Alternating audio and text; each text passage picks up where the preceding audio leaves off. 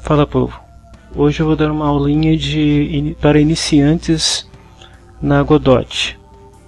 Para quem quer começar a programar jogos, descobriu o Engine, está louco para começar a fazer alguma coisa e não sabe nem por onde começar com aquela tela maluca que não dá para entender quase nada. Quem não tem nenhuma, nenhum conhecimento de games realmente chega nisso e não sabe fazer um sprite na tela funcionar.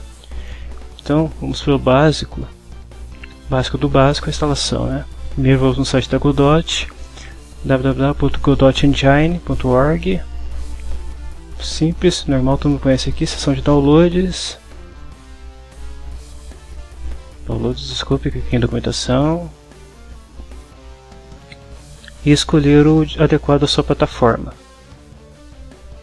Ela também tem um bom material aqui, tudo em inglês ainda como ela está em beta, ainda tem coisas assim que não estão escritas. Mas o que temos aqui de escrito já dá para começar a fazer bastante coisa. Há também uma fanpage deles no Facebook, para quem tem uma necessidade mais rápida de informação, só tentem não exagerar, né? Usem um search para procurar os assuntos que lhes interessam para não atravancar o desenvolvimento da fanpage. Mas no geral é bem receptivo assim em termos de usuários. Bom, voltamos a ela. Depois de vocês terem feito todos os downloads, que são coisas simples, Godot é o que? Uns 5 MB, os demos delas são uns 5 talvez. O mais pesado esses são esses templates aqui, que são 113 megas que eu vou ensinar como instalar esses templates que a partir deles nós criamos os executáveis para cada plataforma. Então, com o Dodot na sua pasta, assim, em qualquer lugar que você escolheu do seu PC, só dá dois cliques na Godot aqui e vai abrir essa janelinha para inicializarmos os projetos. É uma telinha simples, como a maioria dos editores usam. Né? Vou clicar aqui em New Project. Escolhi um caminho para ele, vou colocar nessa pasta que eu tô. Já está nela. Create folder. Projeto demo. Demo. Vou no meu projeto. Create. E já apareceu na minha lista. Só dar dois cliques Bonitinho, né? Maximizar aqui. Inicialmente, a engine precisa ser configurada com alguns fatores assim para a gente poder trabalhar legal nela. Vamos aqui no Settings, Editor Settings, temos um monte de configurações aqui. Vamos descer um pouquinho. Vamos às que vão interessar a maioria das pessoas. Né? A maioria do que está aqui não precisa ser reconfigurado, nem mexido, nem nada. A não ser, como chegamos nesse ponto aqui, o Android. Ele vai pedir nessa configuração que você aponte os arquivos, os executáveis mesmo, de edição para para Android. No caso são o ADB, que é o ADB Manager do Android, é um aplicativo que vem na SDK de desenvolvimento, o Gzinger, que é do Java, e criar um keystore. Vamos lá. O nosso DB observe que eu já tenho, tenho um pathzinho aqui. Clique aqui, pastinha, vou em file e eu vou apontar onde está esse arquivo. No meu caso está em net. No seu, no seu computador pode estar numa pasta diferente, ou na raiz seria barra usr barra lib ou c2 pontos.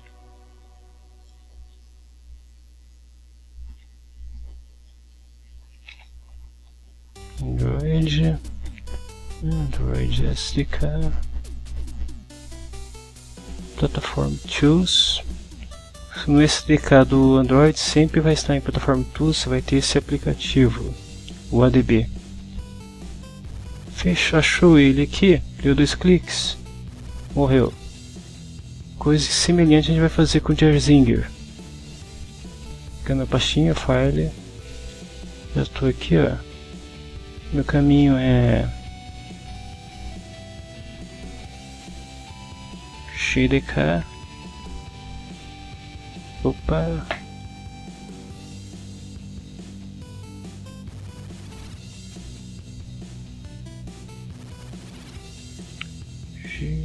GDK. Escolha a versão do Java. GDK. Bem, procurar o Jerzinger nessa montoeira de arquivos.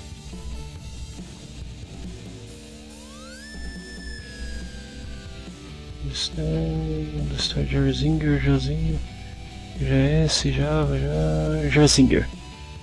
Esse Jerzinger faz uma parte do sistema do Java para comprimir o APK.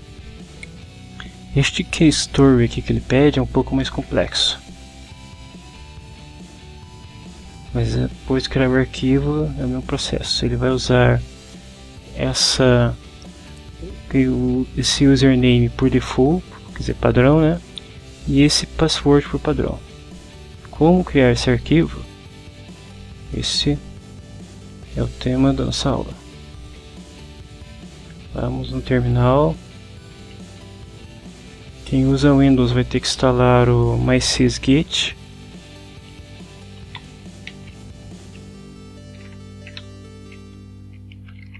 Vou entrar na pasta.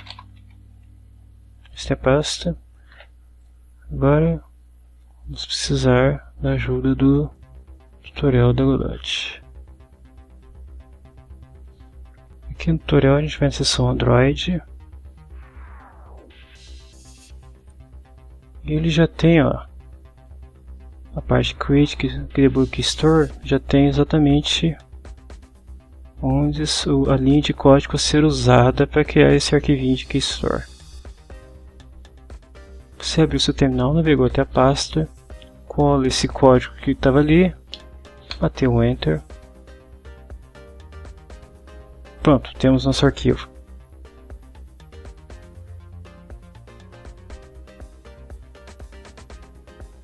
Aqui é o nosso debug store que você vai apontar na pasta de configurações. Isto foi unicamente só para quem quer exportar para Android. Agora temos um segundo item bem importante aqui, Install Export Templates. Essa configuração é importante que ele vai instalar todos os templates para que possamos exportar o produto final para várias plataformas, desde desktop, PC, Mac, Linux até mesmo o próprio Android vocês vão baixar aquele arquivão gigante, Sport Templates, um TPZ, selecionar ali e dar Open. Só esperar essa barrinha terminar eles vão estar instalados.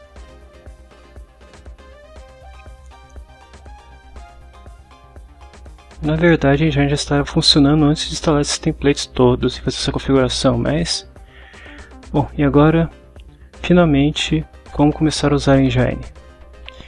Inicialmente, já podem notar que ficou aberto aqui um sistema de abas na nossa tela principal, já está direto no 3D aqui. Ó. Se eu clicar com o botão de, do meio do mouse e arrastar, eu vou mover visão de câmera.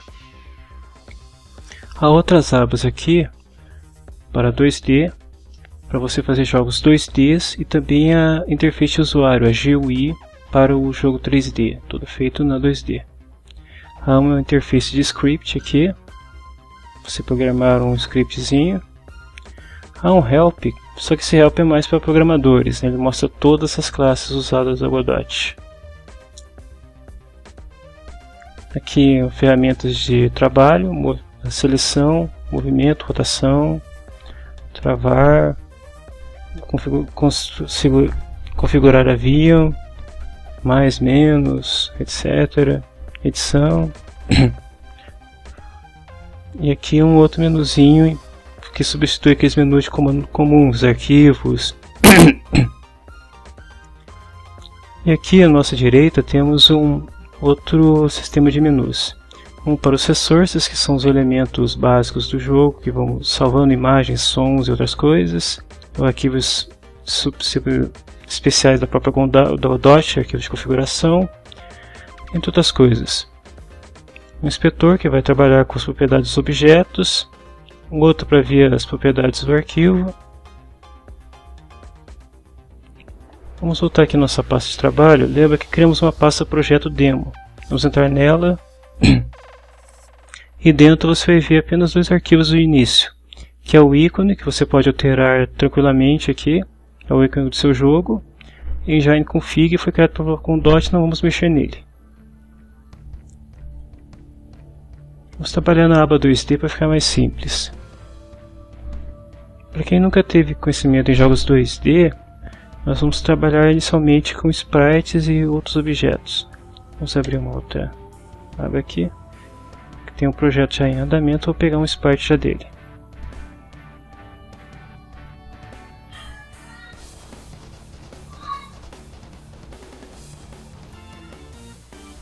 Ah, tá aqui. Vou pegar esse anjinho aqui, pular no nossa pasta de projeto. Opcionalmente eu posso criar uma nova pasta para ficar tudo mais organizado. A Godot, como várias outras engines de jogos, elas trabalham com hierarquias de cena. Uma árvore de cena, podemos dizer assim. Então temos vários nós principais, que são as bases para o cenário, e nele vamos encaixando objetos que vão se vinculando e vai formando uma árvore, parecido com a árvore de diretórios que você tem no seu PC. Aí vamos criar um primeiro nó que vai ser a raiz de toda a nossa cena. Eu já posso ir direto nesse aqui, ó. Primeiro item da lista aqui, clicar nele, node. É um node é um nó comum. Todos esses objetos que vocês estão vendo aqui embaixo, desde animações, interface de usuário, hitboard, etc, etc, até partículas, são como se fossem classes que herdaram suas propriedades desse node. Vamos dar dois, dois cliques nele, foi inserido o node. Vou renomeá-lo aqui para cena. Ele é um nó vazio, nem visualização ele pode proporcionar para gente, mas ele serve só para marcar o início da nossa cena. Isso depois serve também para você transformar em script. Agora vamos colocar aquele anjo aqui em cena. Clique de novo aqui nesse primeiro botão, né? Que eu criei para cliquei para adicionar esse node e vou digitar sprite. Dois cliques, está aqui nosso sprite. Ele não contém absolutamente nada, é um sprite vazio. Vamos adicionar uma textura nele, aqui ó, na nossa janela de, no inspetor de propriedades, ele vai direto nesse node aqui. Vamos carregar ela. Viu, já apareceu direto aqueles, aquelas pastas que nós selecionamos. Elas são todas referenciadas pela Godot como res pontos barra barra. São todos os resources daquele projeto. Eles trabalham só dentro da pasta, das subpastas do seu projeto. Aqui não parece fazer muita coisa, né? Estão os quatro sprites, todos separados. Mas vamos vir aqui a nossa nosso inspetor, vê que tem algumas propriedades extras aqui. Aliás, um monte, se analisar bem, para quem não conhece nada, isso aqui é assustador, mas vou entender que é uma hierarquia. Node, por exemplo, que foi aquele inicial que nós colocamos, tem essas principais aqui, Process e Script. São só essas propriedades que ele possui. Veja que Sprite também tem essas propriedades. Lembra que eu falei que eles eram ele, os outros objetos herdam de Node? É o que nós chamamos de herança. Por exemplo, esse Node é a, é a base de todos os objetos. Depois dele vem o Node 2D, que tem as propriedades de transformação e visibilidade. Temos os, o Canvas Itens que herda dele. E por fim temos nosso Sprite que herdou todas as propriedades daquele Node 2D. Isso se reflete em programação, por exemplo, se eu tenho um Sprite, automaticamente eu tenho todas as propriedades dos elementos filhos, dos elementos pais dele, que são Process, Visibility, Opacity, Posição, etc. Mas vamos nos ater à parte sem programação por enquanto. Vamos aqui, ó. Se eu tenho um sprite, eu quero fazer ele ficar bonitinho. São quatro frames do mesmo objeto. Eu vim aqui, ó, vertical frames, p frames, quero dois. Então mudou aqui. H frames, quero dois. Pronto. E obviamente o frame vai ser o frame a ser exibido daquela daquele elemento. Vamos pegar ele, arrastar qualquer lugar. Vamos fazer ele se mover, não é? Clico na cena inicial, clico de novo no botãozinho de adicionar elemento. Agora vou preparar a animação. Animation, Animation Player. Está aqui. Esse é um nó especial, não tem visualização, não tem efeito para nada assim, de colisão nem nada, mas ele é um nó que vai servir para animar outros objetos. Clico aqui, ó, New Animation, dou um nome, voar, clico nesse lapisinho para editar essa animação, seleciono o objeto aqui, ó, ou posso selecionar ele aqui ou aqui. Vamos lá. Vamos para o primeiro frame, que é começa do zero. O primeiro sempre começa do zero. E cria, se reparem que depois que eu coloquei esse animate player aqui, apareceu as chavezinhas dos lados das propriedades. Quer dizer que eu posso marcar aqui a propriedade com uma chave. Cliquei nela, apareceu essa caixinha para confirmar que eu vou criar uma linha de tempo aqui. Criou, e criou uma linha de tempo só para essa propriedade. Se eu fosse clicar em outras, ele ia criar uma nova linha aqui. Vamos fazer um ajustezinho. Isso aqui é o comprimento de um frame de animação. Eu já tenho outro vídeo falando especificamente sobre essa parte de animação, então não vou, não vou me aprofundar nela. Vou dar o tempinho de animação, a duração da nossa animação o próximo frame, o outro frame, dois aqui, né? E o último frame.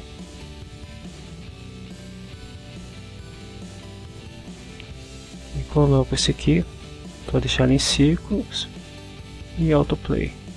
Já posso ver ela funcionando, automática. Ela não precisa de mais nada, acabou, tá ótimo está definido, ele vai ser animado. Já posso clicar em Preview de, de Scan. Esse aqui. Ah, sim, primeiro vamos salvar essa cena, né? Save Scan. Digito mais Scan. Ou qualquer outro nome. Salvei. Posso dar o preview da cena.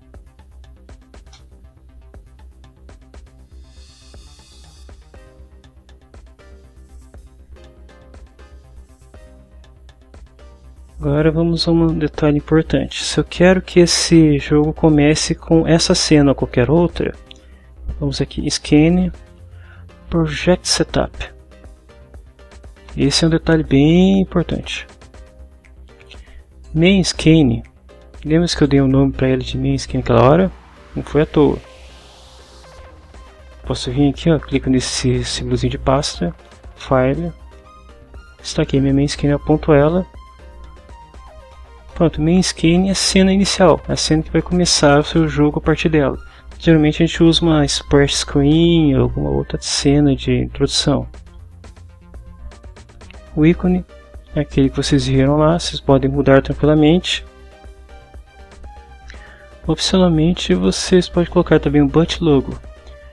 Boot logo é o logo que vai ser exibido na hora que a engine estiver sendo inicializada. Não tem nada para ser exibido, se o jogo não começou a nem a primeira cena, vai exibir esse boot logo. Eu alterei isso para exibir o logo do meu projeto principal, vocês podem fazer a mesma coisa. Target FPS vai limitar o FPS. Uma dica para vocês é nunca usar isso, muito menos acima de 60. A não ser que vocês queiram fritar no processador de um usuário qualquer que só para deixar o seu jogo lento.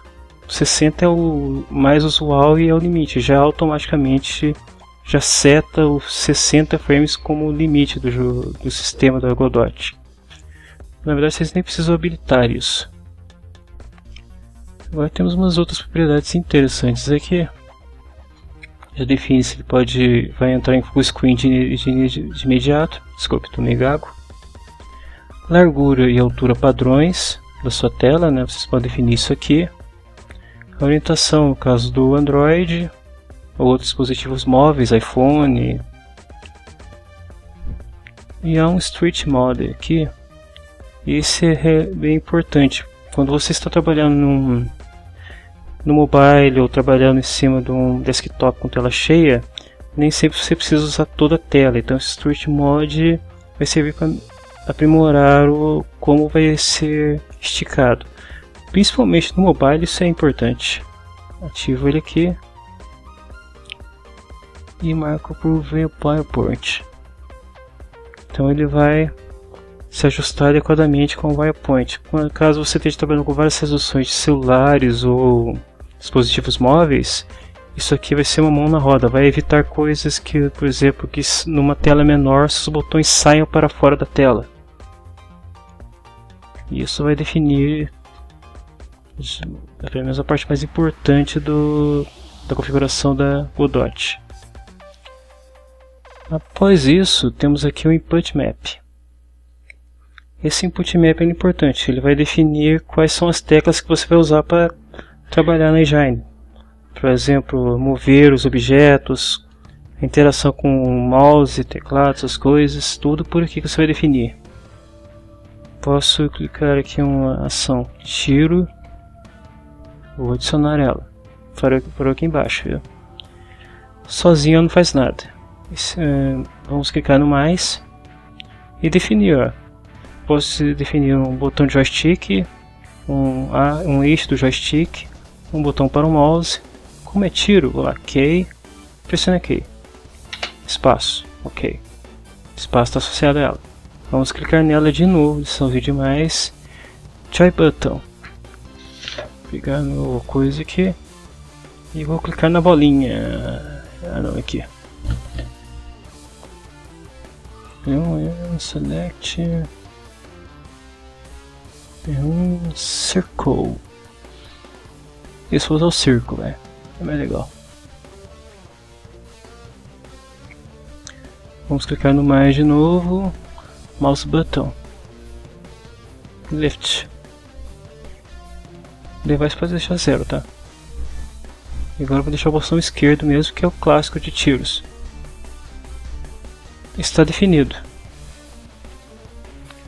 A partir de agora, tanto se você usar a barra de espaço ou o botão da bolinha no joystick ou o botão esquerdo do mouse, ele vai disparar um evento dentro da engine que vai, pode ser monitorado com o nome de tiro. Isso vai servir no nosso loops de programação para poder fazer o, personagem atirar. Pronto, close. Se eu quiser ver ele rodando, não preciso mais clicar em Preview Screen, eu posso já clicar direto aqui que eu já configurei minha skin para essa cena o Start ou F5.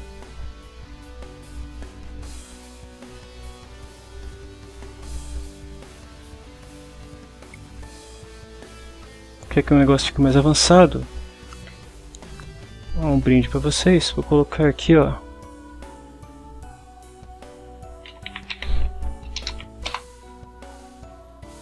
Uma trilhinha sonora.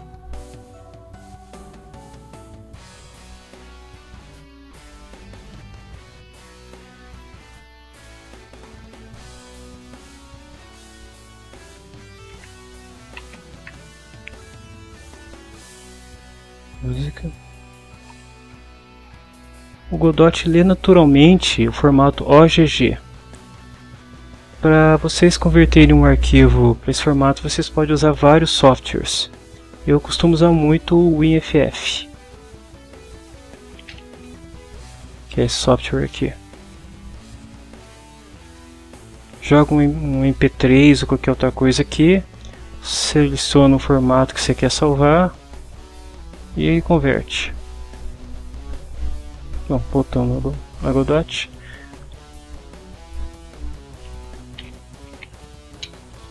É, stream stream player tem um símbolozinho de música para facilitar, né? Que às vezes o nome não ajuda muito. Esse Stream Player, simplesmente nós apontamos o nosso stream. Para quem já está familiarizado com o termo, stream é uma onda, uma fonte de entrada contínua. No caso, load, Part, música e seleciono o arquivo open. Ativo ele aqui, ó, autoplay. Posso deixar em loop no caso de jogos. Testo a cena. Espero que estejam ouvindo.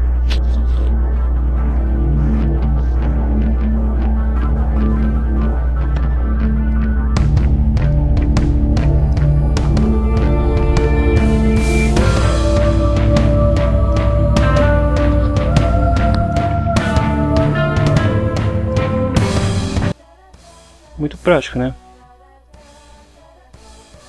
É isso, já ficou configurado. Agora vamos para a parte que vai entusiasmar todo mundo. Exportar. Aqui, depois que você instalou os templates, exportar fica muito fácil. Então ele vai exportar para Android, para BlackBerry, para HTML5, para Linux, para macOS e para Windows. Pois se eu quero exportar para Windows a partir do meu Linux, eu clico aqui, vou em Export.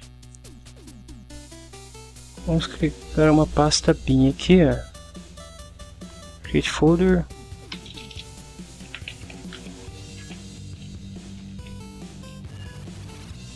Executáveis, pronto. Dentro dela eu vou inserir meu arquivo, chamá-lo demo.exe e exportar. Está exportado lá bonitinho. Vamos olhar nessa pasta. Executáveis. Vamos abrir.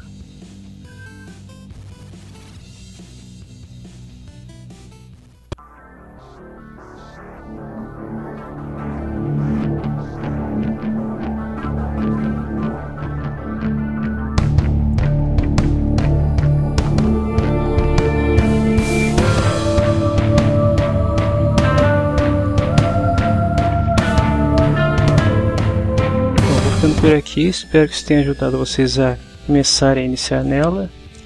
E na próxima eu vou falar mais sobre esses sistemas gráficos aqui de hierarquias de objetos, de uma forma mais específica. Falou e até a próxima.